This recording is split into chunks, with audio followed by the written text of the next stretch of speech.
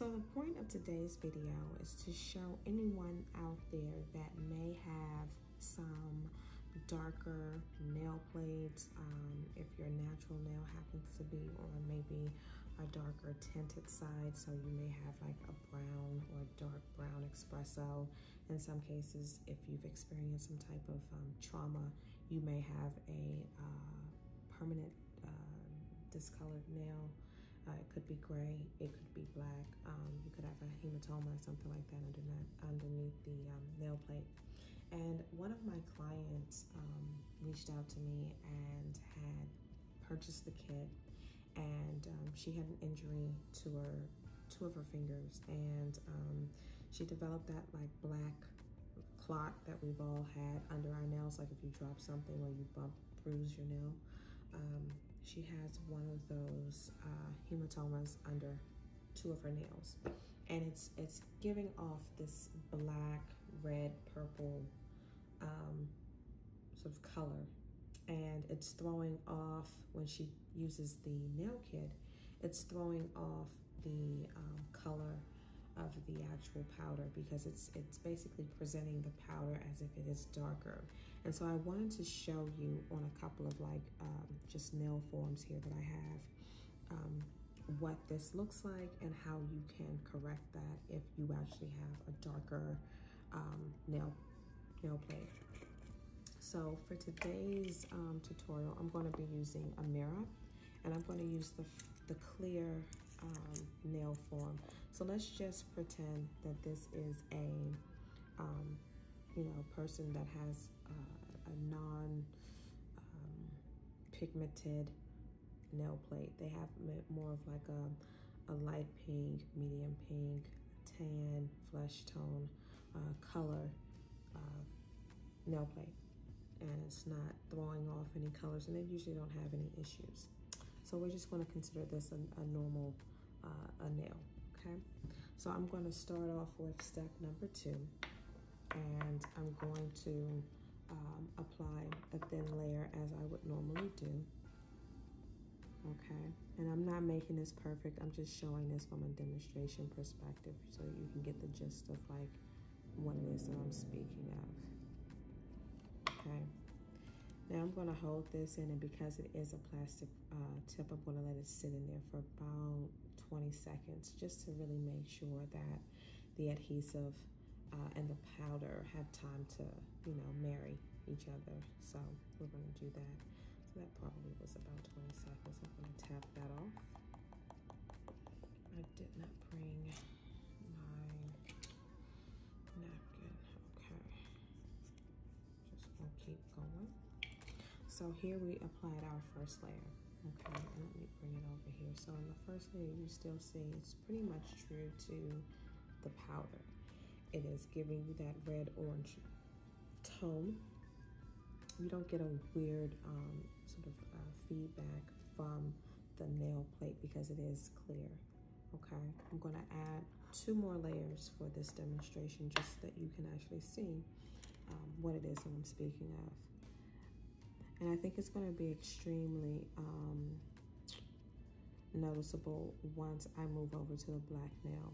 And so one of the things that, um, you know, when we were talking, she brought up to me is that I need you to make a natural nail base for um, people like me. And I said, okay, I, I'm, I'm gonna work on that. But in the meantime and in between time, since you already have your kit and she has a few shades as it is, I'm going to show you, as I showed her, how to make your own base.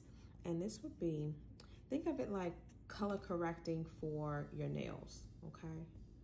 See, that's Amira. We're gonna do this one more time. This will be our third layer. And again, you don't see any major change in the, um, the color from the powder itself. It's still giving you that red orange uh, shade. It is a very pretty, Amira is one of the shades that um, sells out quite frequently um, when I put it up because it's that red orange. It like looks red, but then it also looks orange. It's a beautiful shade. Okay. So we're gonna tap this off here. And again, no major change, okay? I'm gonna add step number three, which is the bond, to um, the nail, just as I would do before I did my natural nail. So remove this out because I don't want to activate anything in the container. And put that on. And I like to saturate my nail with the bond just to make sure I'm hitting all three layers, okay? No real major change in that, in that shade, in that color, okay? You don't see anything major. It's still giving you that red orange look. Now, because her nail plate, again, she, she had um, an issue. She has some deep bruising on two of her nails, and it's giving off like a, a circular um, bruise underneath the nail. I'm going to show you what that color looks like now on her nails. Um, and this is the shade she was actually um, speaking of when she called and made her, her, her plea for help. So I'm going to apply one layer, same as I did to the um, clear tip on the black tip. We're gonna go in, we're gonna leave that in there for 20 seconds or so. Let me move this back in frame. We're gonna leave that in there for about 20 seconds.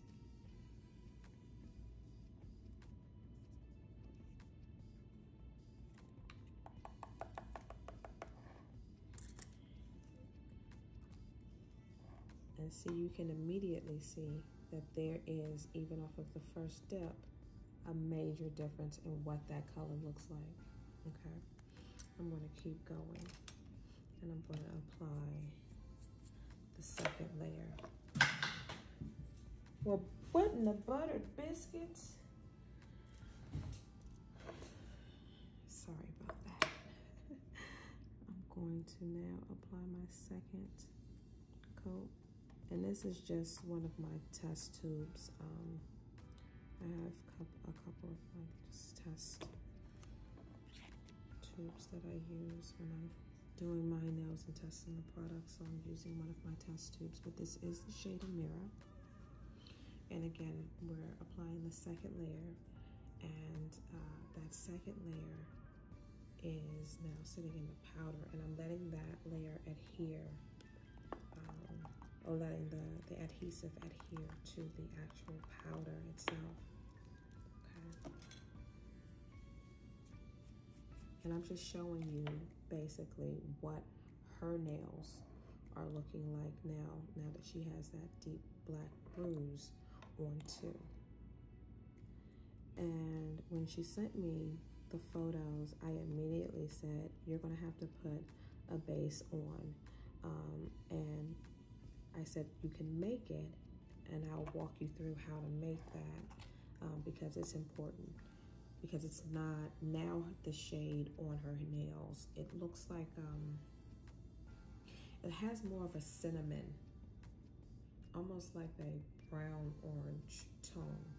Uh, the black almost neutralizes the red and turns the red into a burgundy of some sort, in my opinion, when I see it now this is three layers here. Same as the clear. But now I want to put them side by side and you can see that they don't they look like two different shades of of orange you know. Oh let me put the bond on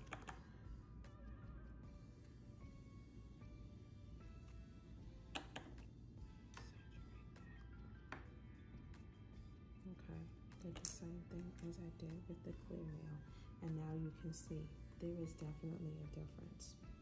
So, like I stated, she has several of the powders currently. So one of the things that I told her to do, I'm gonna put these two to the side. Okay, and we're gonna come back to that clean one. told her to go to the dollar store and get a small container. Some of us have these sort of small containers in our pantry. So I told her to get a small, clear, like one or two ounce container so that you can make your own base. So what we're going to do is we're going to use the NDS Clear, and that's number 001, okay? And I don't have exact um, sort of measurements. I would say that when you're using the clear, you want to use one part clear and then I would then do one quarter or one half part of each of the additional shades. And I'm gonna come back, grab a spoon, and I'll be right back. Okay, I'm back. And I went and got my um, measuring spoons. So what I'm gonna do is I am going to take, um, give you the measurements that I gave her so that she can make her mix, okay? Now I told her to take one teaspoon of clear. Okay, this is clear. So we're just gonna take one teaspoon of clear. And it doesn't have to be exact. We just want one teaspoon, one teaspoon of clear.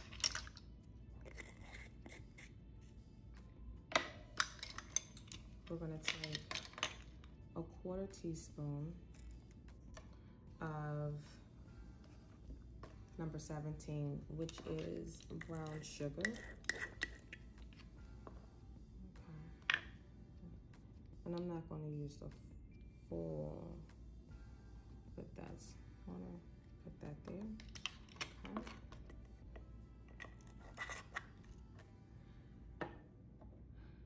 We're going to take number two which is my white shade.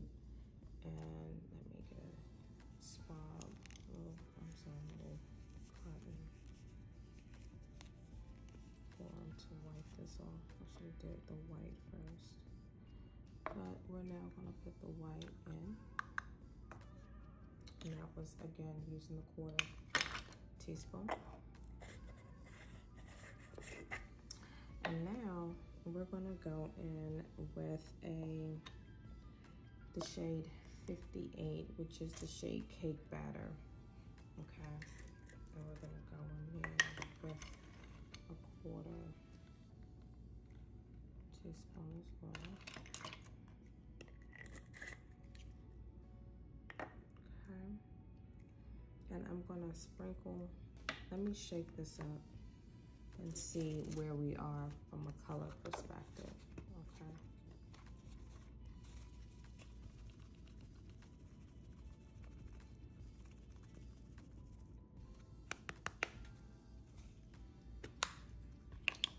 I want you to see, you can see what that looks like. It's, it's a very neutral, um, very neutral shade. I would consider this maybe a very, very light oat, like um, oatmeal, like a light oat, or um, it's a very, very light tan shade. Excuse me.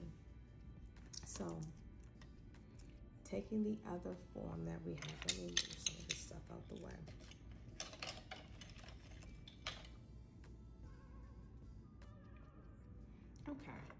So we have our black nail form here.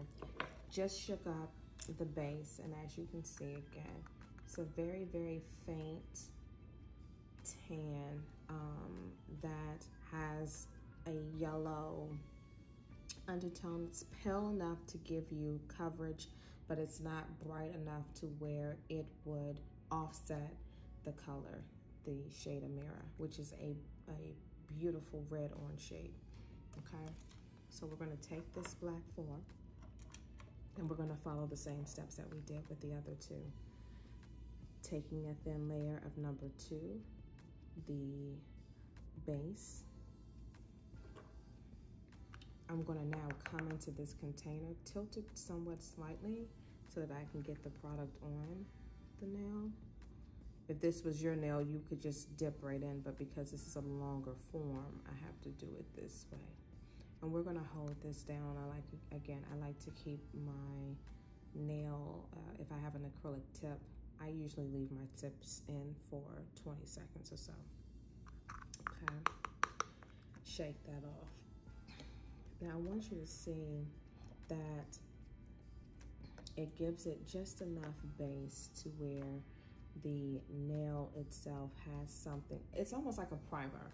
It's like how you prime your face or, or you color correct your, um, if you have bags or circles or, you know, uh, some type of scar or something that you want to correct, um, you would use, depending on your undertones, that color correct, the opposite of the the shade that, okay, so like if you have dark circles and you're like my complexion, you would do a light pink, I'm sorry, a light uh, orange or um, a medium orange. You can even possibly get away with like some reds,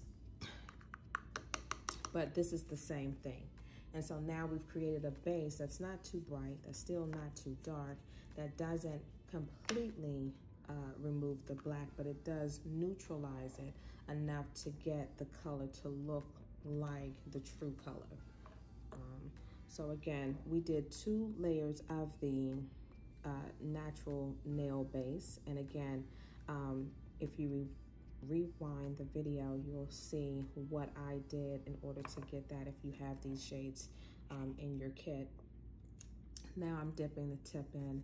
I'm gonna let that sit in there for 20 seconds and then let's compare it to the other two that we already did and see so that you can see the difference in the um, the nail if you actually have this and again this is just something that um, when she called me because I know I don't necessarily have a color like that um, as a part of my collection currently I wanted to give her something that wouldn't have her waiting around for me to sort of develop that because it has to come. I have to develop, I have to look at several samples and then I narrow it down. So as you can see here, these are the three. This is the one I just dipped. This is the one that doesn't have the base. This is the clear nail form. I'm gonna dip this again, but you can already see that it's still it's lighter than this one, but it's not as light as that one. So let's see if we can get it up to like this match here. I'm gonna go in now with my second layer of Amira. Again, we're gonna apply three layers here. And I'm just gonna put this on and coat the nail nicely. Step it into stick it into the powder, excuse me, and let that sit for 20 seconds.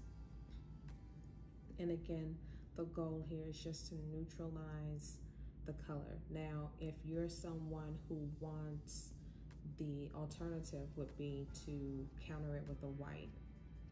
But I find that sometimes when the white could be too bright underneath, and that white can also do the opposite. It can over color correct, meaning it could take the color up two notches from your other nails, especially if your other nails have like a tan or a pink base.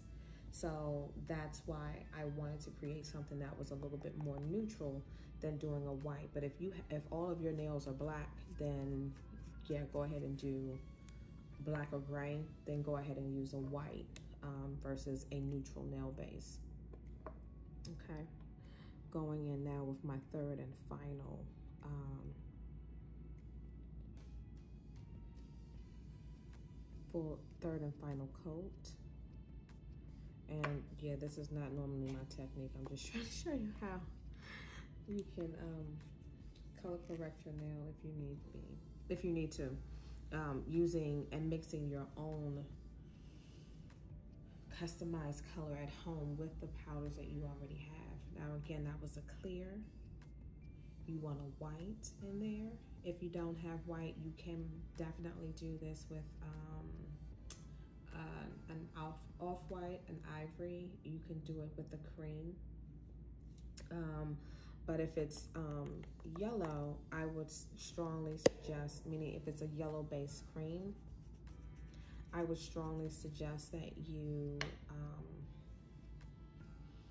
omit the yellow and offset the yellow on the back end. So when I did my mix, I did the clear, I did the white, I did a um, neutral sort of custard yellow, and then I added in the uh, a pink tan.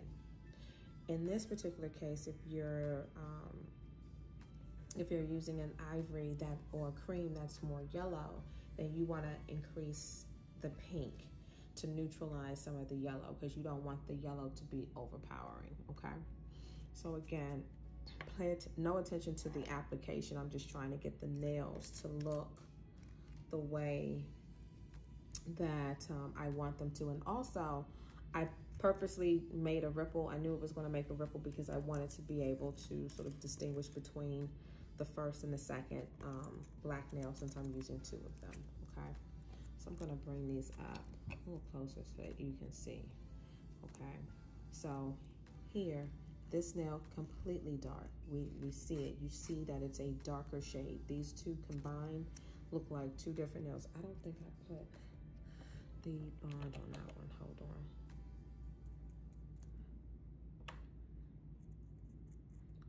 Okay. So this one you can see it is a darker shade. It almost looks like a cinnamon, um, like a very true burnt orange, but more on like that burgundy brown side. Whereas this one looks like an actual red orange. And this one with the base underneath, these are more in line with one another. The shades are not too far off from each other. It definitely isn't this. And when I compare the black to the black, you can also see the difference in the color. Color difference is totally different um, between the two. And you can see that. I'm gonna hold. This was the first one. Okay, this was the second one, no base, and then this is the third one, black nail with the base. Let's drop that one. You can see nail to nail. So if you ever need to create your own base, um, that's how you do it. And just get a little container with your lid.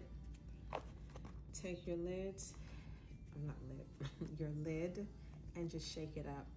And that's how you create your own base. Hope this video was helpful. Until we meet again, keep dipping. Bye.